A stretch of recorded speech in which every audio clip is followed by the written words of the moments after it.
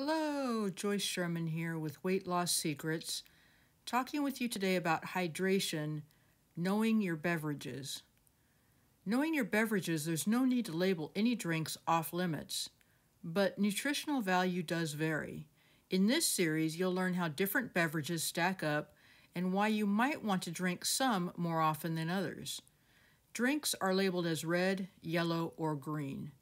Red light drinks are drinks you dislike, drinks you don't digest or tolerate well, drinks that don't support your goals, drinks that you can't drink moderately and sanely.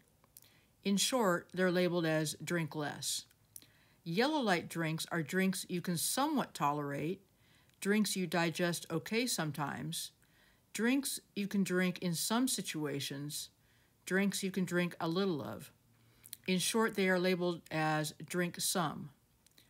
Green light drinks are drinks you like, drinks you digest well, drinks that support your goals, drinks you can drink moderately and sanely. In short, they're labeled as drink more.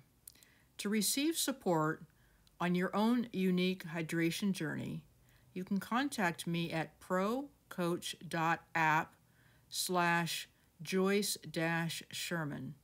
I hope you're doing well. Take care of yourself.